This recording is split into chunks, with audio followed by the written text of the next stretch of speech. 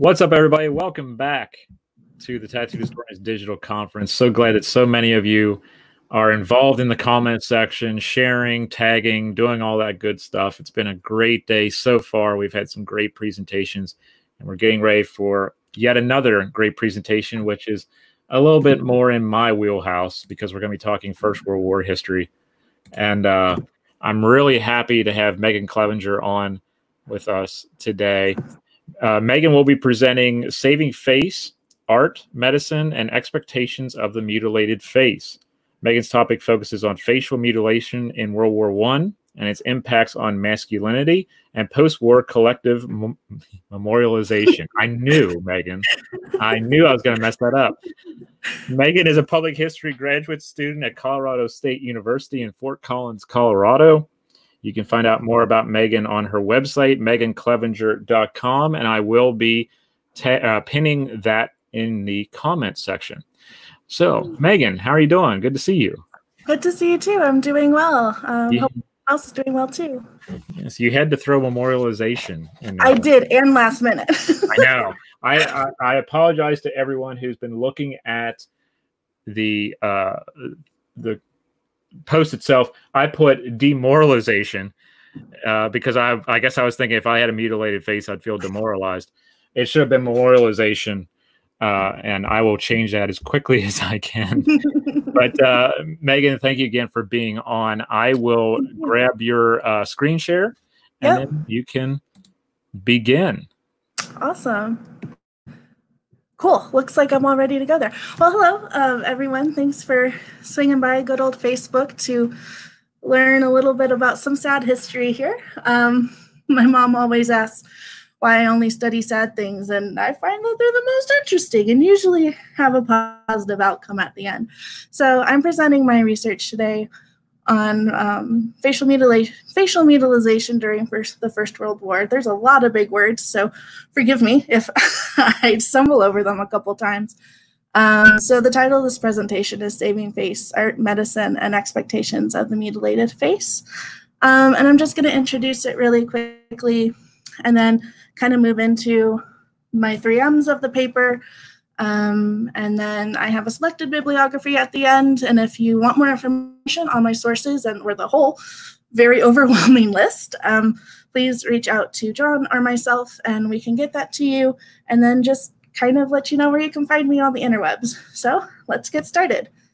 Um, so faces are really important. Um, they really connect us not only to our personal identity and to our kind of personal humanity, but they also connect us to society at large. Um, it's how we emote, it's how we kind of show expression and show excitement or different emotions and they provide a lot of like conversation triggers and things like that so especially during world war one when you if you were a soldier who lost a part of your face um, due to the war, you were losing a lot more than just kind of the physical aspects of losing a face. You were losing part of your identity, a part of your humanity, a part of a way to connect with the world around you. Um, so this presentation looks at the facial mutilization of soldiers in World War I and how it led to the intersection of art and medicine and through advancements in reconstructive surgery and the production of portrait masks.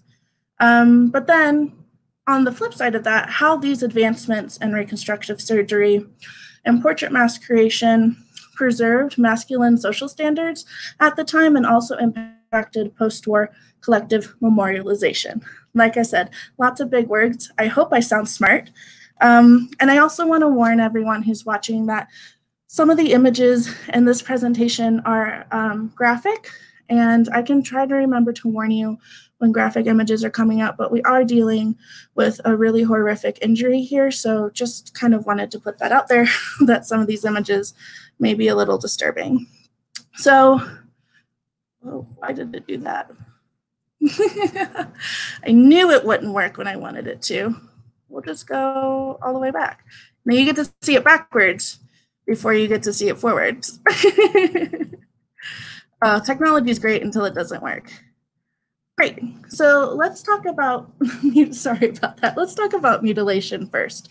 So why was facial mutilation something that happened in World War One, but is not something that we necessarily hear about in previous conflicts like the Napoleonic Wars or things like that. So there are actually two really big advancements at the time of World War One that lead us to this uptick in extensive facial trauma.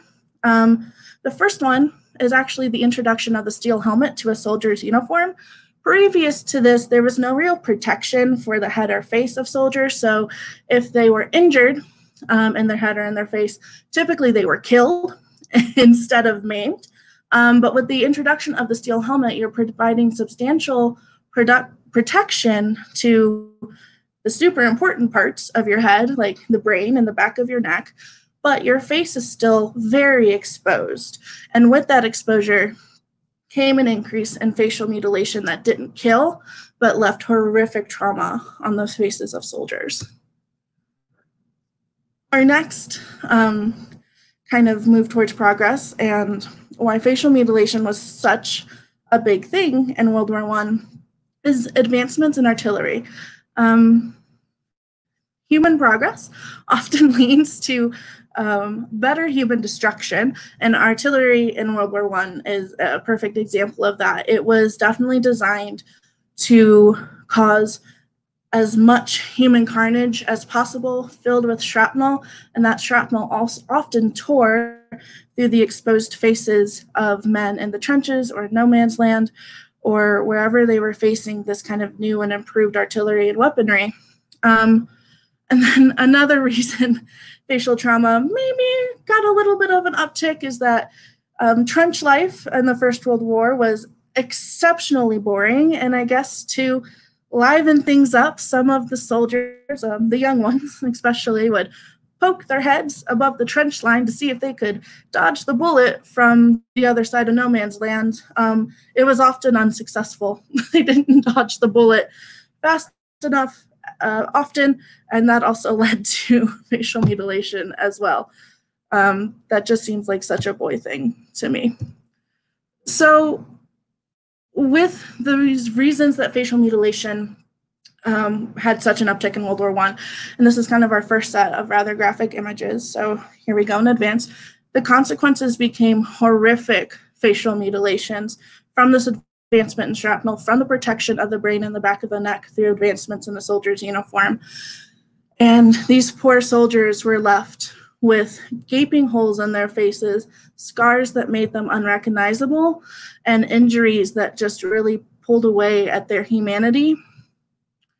So we had to come up with a solution. There was an urgent need for faces to be fixed. So this is where we get to our intersection of art and medicine. And we have three major characters in this intersection. So I just want to give a quick bio, bio, biographical look at these three characters and their impact um, on this intersection of art and medicine and helping these soldiers with facial mutilation just regain their identity and humanity. So our first kind of highlighted figure here is Major Harold Gillies. Um, he was an ear, nose, and throat specialist originally, actually from New Zealand, who moved to England um, at the onset of the First World War to offer his services. Um, he pioneered facial reconstructive surgery on a multitude of very willing patients um, with the influx of facial mutilation, facial mutilation because of the war. Um, he shared his discoveries across Europe. He was not the only surgeon doing this kind of work, but he was definitely the most high profile surgeon in the Entente powers doing this kind of work. Um, he recognized that facial injuries had a much higher success of being treated appropriately and successfully if there was treatment available right on site. So he began to demand, particularly for British um, operations that field hospitals be equipped with facial trauma teams at the site so that by the time these soldiers got to him, they weren't beyond help with infection or additional injuries or dead skin all around the trauma. Um, he actually had his own facial trauma unit at Queen Mary's Hospital in London, where he did all of his work. So, one of his most, and again, some graphic images here, one of his most pioneering works was no, wrong way. I promise I know how to present. one of his most pioneering works was the tubed pedicle, which was a way to keep blood flow to skin grafts onto an injured face. So Gillies discovered that one of the reasons that skin grafts didn't adhere appropriately to injuries was that they were the skin was essentially dying because of a lack of blood flow and then would be rejected by the placement site. So by building these tubes of skin on people's towards people's injuries and towards their grafts, he was able to ensure blood flow to this new skin and the success rate of the skin graft taking was exponentially higher than if they just put the graft on top of the injury and waited it out. So, so this was a major, major improvement, and not only facial reconstructive surgery, but also in other major traumas such as burns and um, compound fractures and things like that that perhaps needed covering from skin grafts. And oftentimes his surgeries were very successful, and the scarring and the injury were well hidden through Gillies' work and Gillies' work in facial reconstruction. Um, but sometimes they weren't because this was such a new field and there was so much pioneering happening and so much of it was experimental. Sometimes the facial injuries were too traumatic for Gillies to fix, or the surgery actually made it worse. So, this is where the artists come into play and contribute their skills to helping soldiers regain their identity from their facial mutilation. And the first one we're talking about is Francis Derwent Wood. He um, was a British artist by trade. Um, by the time World War One rolled around, he was too old. He really wanted to enlist, but he was too old to enlist. So instead, he volunteered as an orderly um, with the Royal Medical Corps and actually ended up volunteering at Queen Mary's Hospital, which he, at that place, he ran into Dr. Gillies. What really got Gillies' attention about Wood is that for his patients, Wood would make these really injury specific casts, plasters, splints, or other protections that were more designed for the patient's injury instead of kind of mass production, um, like was typically provided. And this was noticed immediately by Gillies, who kind of saw a need for this kind of work, but specifically for the patients he was working with with facial trauma. So Gillies asked him if he would be interested in making these portrait masks for soldiers who were beyond Gillies' help or the surgery didn't help at all, and Wood agreed. So in 1915, at Queen Mary's Hospital, Wood opened up um, the masks for facial disfigurements department, which affectionately became known as the Tin Nose Shop by the soldiers who were sent there. Um, so Gillies produced almost 200 of these masks over a period of four years. Um, they were a lightweight copper and painted to match the wearer's skin tones, hopefully blend seamlessly into their face, but only to hide the injury. They were meant to only cover the injury or the trauma and not cover the entire face of the wearer. Um, another uh, kind of step in this process was that he took really intimate and detailed plaster casts of these soldiers and their injuries, and first formed these lightweight copper masks around those plaster casts so that he knew the mask was guaranteed to fit on these soldiers' faces. And he also, if the soldier had them, referenced pre war photographs to make sure that the mask matched as closely as possible to what the soldier looked like before his injury. And then again, warning, a little bit of a graphic image coming up. But this is an example from the Imperial War Museum's photograph collection of a soldier who benefited from one of Gillies, ma- or not Gillies, sorry, one of Wood's masks. As you can see, there's a very obvious um, facial trauma on the first image there, but with the help of one of Wood's portrait masks from a distance and a blurry photograph, you can barely tell that this young man was injured and the severity of his injury. And that has a massive impact on the mental health and kind of societal integration of these soldiers. The last artist who was doing this kind of work was an American sculptor named Anna Coleman Ladd. Um, she actually moved to Paris with her husband when he was assigned to oversee a displaced children's camp in France. Um, she in America was known as a mediocre sculptor at best at the time. Um, she was aware of Wood's work in England. In fact, a colleague of hers, right before she moved, had sent her a telegram saying that her her talents would be just so needed in France because of the amount of mutilés, which is what they were called in France, the French word for it, which I'm sure I'm butchering. Um, there was just a massive need for this kind of portrait mask work that was being done in England that Ladd could make a, a huge impact on the men if she um, was able to do it. So she agreed to do that and partnering with the American Red Cross opened her portrait mask studio in Paris in November 1917. Um, over the course of about a year and a half, she worked with 92 French mutilés and four American soldiers with facial trauma to produce these really personalized portrait masks.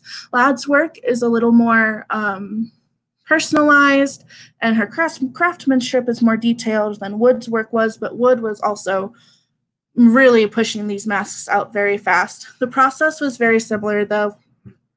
And with the plaster casts taken of these mutilated faces, the lightweight copper mask being fitted perfectly to the injury and painted um, to match the skin tone using pre-war photographs to really capture the personality of these soldiers and what they were missing on their faces. Um, she also went the extra mile though and added additional uh, personalized details. She would add wired mustaches and facial hair to the masks to make them look more like themselves. Um, she would paint eyeballs the match perfectly the color of the eyes to make sure that the soldiers looked the most like themselves or their pre-war selves. And one of the things I find most amusing is that in one of her masks, at least one of them that we have photographic evidence for, she put a hole in the mouth so that the wearer could still smoke. And sorry, didn't warn you about the graphic image before, but this is a before and after of one of the soldiers that Ladd specifically helped, um, courtesy of the uh, Smithsonian American Art Archives. Um, as you can see, again, from a distance, you can hardly tell that he's wearing a mask. The mask is held on by his glasses, and they are um, really just a personalized work of art that helped cover the injury. And I just love this photograph. This was also also in Ladd's archives of a soldier named Charles Victor, a French soldier that she painted a mask for. And he sent her a photo of him wearing his mask out and about. And with the accompanying letter was just very proud that no one knew that he was a mutilé and his wife and children weren't scared of him any longer, which is heartbreaking as that is, just shows the immediate and positive impact that Ladd and Wood and Gillies had on the lives of these soldiers with facial trauma. But at the same time, while improving the lives of these soldiers, they also upheld standards of masculinity of the time period. So, at this, by the onset of World War One, these gender social roles and kind of performative gender expectations were really solidly set in stone. There was a masculine sphere where men were allowed or were expected to kind of have this very public role um, whether it was through work or politics, and especially sports. Sports and masculinity and military were connected um, across the board. Men at this point in time, and this is definitely played on in a lot of the recruitment advertisements, are meant to be this athletic, stoic, courageous courageous person, the breadwinner of the family, and the protector of the women and children of their countries. And we can see this in the recruitment advertisement. We have this very courageous, masculine British man storming forward on his equally muscular and courageous horse, um, ready to take on the enemy. This Australian recruitment portrait shows this connection between um, masculine expectations of sport participation and the connection to militarization and kind of the militarization militarization of sports and how they were really looking for these men who played these public uh, masculine roles to enlist. And finally, as the protector and breadwinner of these families, men were expected to go to war to protect their women and their children and make sure that no harm came to them. So, how did facial injuries specifically then impact wartime and post war Well, I kind of have it broken down into three subjects. So, our first one is economic. Right off the bat, facial injuries, and you were right, John, they were demoralizing, um, were seen as demoralizing, um, specifically in terms of returning to the war front. Um, so, fun fact, at least in Britain, if you received uh, facial mutilation, you were not returned to the front because it was going to be demoralizing to the troops who are still there, and you actually got your full post war pension, which was way more than if you only lost an arm or a leg or an eye or something inconsequential like that. Um, so they weren't able to economically participate in the war as soldiers because their injuries were demoralizing. Another reason they were often unable to find jobs is that at the time, facial deformation was heavily associated with the sexually transmitted disease syphilis. One of the more physical side effects of that disease is the nose rots away. And so these men were initially, because facial mutilation was a new consequence of war, these men were initially associated with kind of sexual promiscuity and wantonness and workers and other people in society really didn't want or employers and other peoples in society didn't really want to associate um, with these men.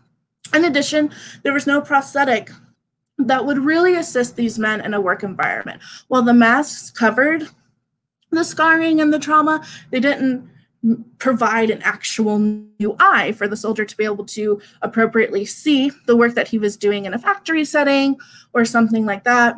Um, and though if you lost an arm or leg or a finger or something, there were like prosthetics that you could specifically create or or have made that would assist you in your specific job role. So that wasn't available um, for facial trauma soldiers. But the portrait mask and especially the plastic surgery helped the soldiers overcome some of these obstacles. In their personal life, if they had facial trauma, these soldiers were unable to kind of meet that expectation of starting a family or finding a fiance or something to that effect because their trauma really made them undesirable. And if they were married, there were definite concerns of attraction. Would they be able to procreate? Would they be able to have that family as was expected of men and then work for and protect that family?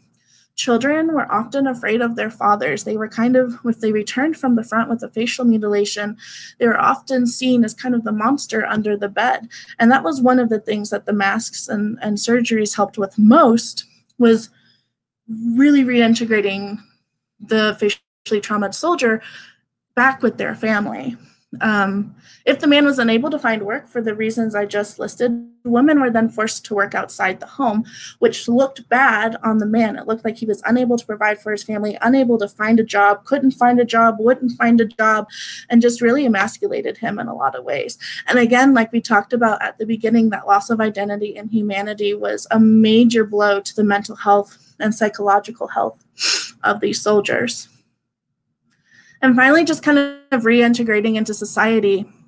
There was something these soldiers kind of collectively called the Medusa effect, where if they went outside with just their faces showing, um, women would like scream and swoon in the street, and people would stare and point and whisper, and it just made them feel really unwelcomed in to really unwelcomed in society and really halted the reintegration process. And just meeting the general expected aesthetics of masculinity, these soldiers were typically young, they had their whole lives ahead of them, and then they had to go to war. They gave the best years of their lives to this war and were injured beyond recognition. They were then unable to kind of meet that aesthetic of masculinity to find a spouse, create a family, find a job. It's all kind of a domino effect. And finally, society was really rather unsympathetic towards the plight of these soldiers. And this kind of became more of a problem towards the late 1920s and early 1930s when the world was plunged into a global depression. As these soldiers still received their pensions, the general public was upset because, you know, they you know they thought they deserved some of the welfare that these social that these soldiers were getting, and they were really unsympathetic towards the trauma and the experience of these soldiers in the wartime. So finally, we want to talk a little bit about memory, bring in some Paul Fussell and some Jay Winter here, everyone's favorite Great War uh, memorialization writers. So the memorialization of the war really left behind the dismembered, disabled, and the mutilated. When we look at wartime memorials, we're looking at soldiers or examples of soldiers or examples of men that are whole, both physical and psychological. And that is not how soldiers returned from the war. They returned from the war broken mentally, um, disabled physically. And when we look at these wartime memorializations, we look and see what type of soldier is really remembered, and especially with this one, and what type of soldier is kind of emasculated because of their inability to participate in the war anymore. We just see over and over again these motifs and th- themes of the strong, whole man um, who kind of led the charge to victory against the Axis powers, and that is just not who the majority of the veterans of this war were.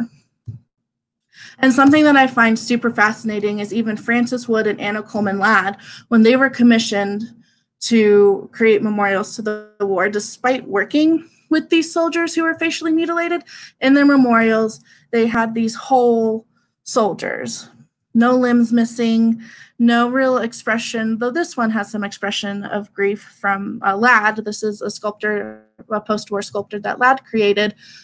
But it, I find it really fascinating that even though they worked directly with these soldiers in their memorialization of the war, both Francis Derwent Wood and Anna Coleman Ladd still held to the traditional tropes of the heroic soldier returning from a victorious war. But there is something being done about the memorialization. Actually, and I wrote this conference paper in spring of 2019.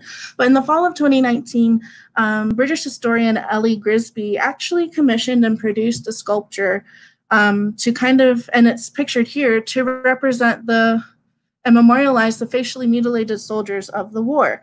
And it was unveiled at Queen Mary's Hospital, where um, Harold Gillies and Francis Wood did a lot of their reconstruction and portrait mask work.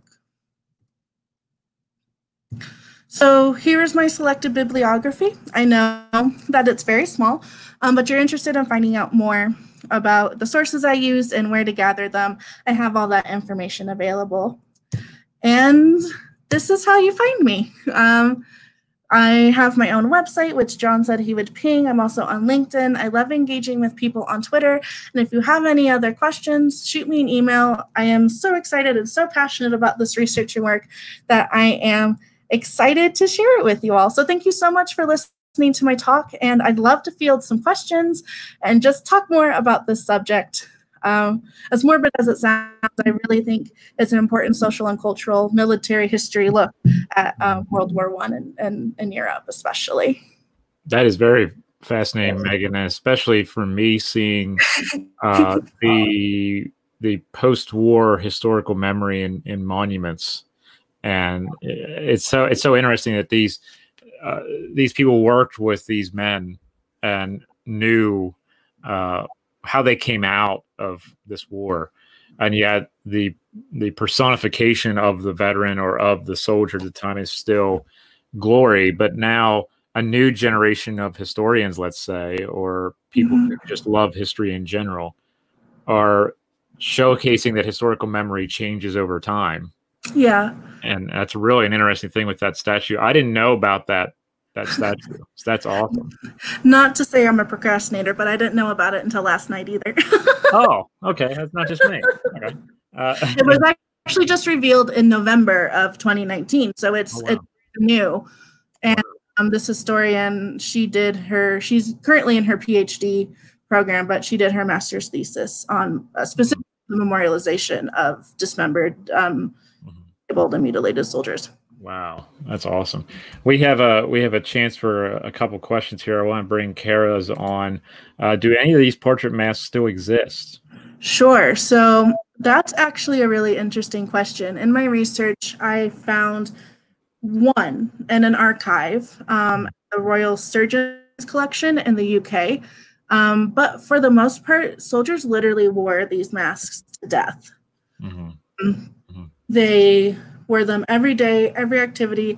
Some even slept in them. They did not want people to know that they had the facial mutilization.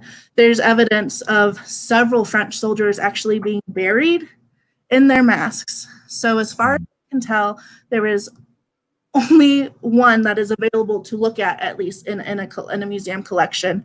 Wow. Um, and that kind of has a lot of consequences for the impact of masculinity, too, where as these soldiers age, this certain part of their face is still reflecting 18, 20, 24 year old them, but still found it important enough to wear and cover um, the mutilization that's that answers the second question because Shelly, Shelly had actually asked, did the men remove the masks each night? And obviously, that's a personal uh, right. thing for each person. But apparently, as you say, some of them may not have. They may have just kept it on forever. Yeah, it was like you said, a really personal decision, and it was just kind of to keep the world out and keep that kind of image of them as a whole man. Mm-hmm. And to cover pain and trauma. Yeah, and trauma, yeah. Yeah. That I never thought of it that way. That I always saw it as like the the character on Boardwalk Empire, who yeah. you know, who, and it, it, that's the way popular culture has been introduced, mm-hmm. possibly to this in some ways. Some people maybe never thought of it before until they saw it on, you know, a show, and they're like, yeah. well, "Why is this guy?" And it was also a shock value for the show, right? This guy mm-hmm. looks different than everybody else, so we still see them the same way as we would in the 1920s. Right. And there's so many like pop culture implications of it too. Like I think specifically of like the Phantom of the Opera and how mm. his scarring kind of turns him in some interpretations turns him into the villain and how we view people with this kind of facial scarring. Right, the other. Mm-hmm. That yeah, that's amazing. And and uh, I really love how your research goes into masculinity and thoughts of masculinity and the idea of being a quote whole man yeah you're back to some sense of normalcy and that's why yeah. i think Shelly's question about did the men remove the mask each night uh, is a question that you know i never even considered and right. um, i guess it, as you say it'd be different for each person would they be secure enough with doing that or would they just wish to keep it on because that's how they're secure yeah and that's how they want to see themselves too i mean we talk about even like in modern times, you know, you can consider this portrait mask a, a form of body modification. Mm-hmm. And mm-hmm. What kind of body modifications do we take off? Be like, I take my earrings off and, you know, I change into comfier clothes. And did these men really feel like they had the option to ever really relax and ever really kind of lean into their experiences? And mm-hmm. masks and surgeries help or hinder that. That's right. The thesis debatable. right. Uh, one last question that just popped up that I think is sure. really, really important from Richard Houston. Did you find any evidence of the influence of these survivors' fates impacting the peace movement between the wars? I know there's that famous photo of the guy who said, I lost my sight for yeah. free or I lost my sight for you or something, and he's he's out on the street asking for money. Yeah, so there's actually a couple ways and across kind of that good guy, bad guy divide too. Um, my research mostly focuses on Britain and France, but there are examples of this in Germany and Austria and, and in the Axis powers as well. So, yes, there was a group of men in France, I forget the name of their organization off the top of my head, who, like, who leaned into being mutilated soldiers. They refused to cover up, they hmm. refused to wear their masks they um, or if they had masks, they refused to wear them. They really wanted people to see the consequences of war written all over their face. Right. Uh, literally make sure that people couldn't hide from this very impactful consequence of war. And mm-hmm. there was a whole, um, on the onset of the Weimar Republic, there was a whole um, anti-war pamphlet published that featured uh, disabled, mutilated, and dismembered soldiers exclusively to highlight the consequences of war. And um, it some of the faces that are highlighted in that pamphlet are just horrific. And and yeah, so these men and often their families were really generally um, proponents of peace and, and and not going to war and and showing a consequence of war during the interwar years but there's also evidence of soldiers with facial mutilation who were very patriotic and really um, connected to that nationalistic message of World War One, the interwar years, and World War Two, and said, you know, I lost part of my face, I'd lose it again. You guys are, you know, kind of the opposite. Like I was masculine enough in the last war to lose my face. What are you doing? Mm-hmm. Mm-hmm. Yes, and still we still hear some of that even today. you know, it's, yeah. a timeless thing again in history. Right. I did. I, why can't you do it as well? Or why don't you take mm-hmm. the chance because I did this for this nation or right. my family or whoever it may be. Yeah. It's really right. And it's super interesting to bring this research forward into today and think about how we're still kind of dealing with this intersection of art and medicine. Facial mutilization is uh, a trauma that happens consistently, even in these wars that we're fighting in the Middle East. Mm-hmm basic soldier's uniform has not really changed all that much since World War One. You still have that steel helmet, and the face is still exposed to um, trauma, whether mm-hmm. The roadside bombs or other things. And there's a lot of facial mutilation that comes out of the Middle Eastern wars as well. But now, instead of tubed pedicles and, and portrait masks, we're 3D printing soft tissue and bone structure to help fill out and kind of present that identity and, and recreate identity again for modern soldiers. Hmm. I see. That's awesome, Megan. I really appreciate your time. And I hope that before maybe the end of the weekend or or next few days, you'll go back through some of the comments because yeah. there are some late coming questions that we're not going to have a lot of time to get to. Uh, and a lot of people really interested in this subject, especially when it pertains to historical memory and what these men did with these objects is is just yeah. really fascinating. And uh, so we'll do our best over the weekend to make sure all your comments and questions are liked or or answered or whatever that may be. It's very important that we Absolutely. shout to all of you. But Megan, thank you so much for your time. I know we ran a little bit over. I hope you didn't have any. Sorry, no, I'm, I'm good. Like I said, uh, I'm good. Um, I'm sorry I went over, but I just no, no, no. It was me. I'm asking about. but but uh, no, I really appreciated what you what you said and drawing attention to some of these people who tried to help these men mm-hmm. uh, overcome uh, what they the trauma that they had experienced and what they had been through and i'm glad to see that new ways of memorializing them and the men especially are coming about with the newer uh, generations of historians or history minded people yeah. i think that's fantastic there's been a couple really interesting exhibits in England and France with the uh, commemoration of the centennial of the mm-hmm. war, at the beginning and the end, where these men are starting to come into the light, and the people who help them are starting to come more into the forefront of the social and cultural histories of the war. So if anyone has any questions about that, I have sources. I have so many sources. you have so many sources. I, I I pinned Megan's website in the comment section. So as soon as you go into the comment section, it'll be the first thing you see. So Megan, you might get inundated with stuff there too. Uh, but we'll make sure that we get to your questions and comments as as mm-hmm. next 24, 48 hours happens. Uh, I'm going to be tired after this day, so I don't know when I'll get to. Oh, Megan might might be joining in and helping out. So, Megan, thank you so much again for this awesome presentation. It really means a lot to me, and it means a lot to those watching. All right. Thank you so much. And thank you all for your wonderful questions. And I hope you enjoy the rest of the conference. Thanks, John. You're welcome. Take care, everyone. Thank you so much. Bye.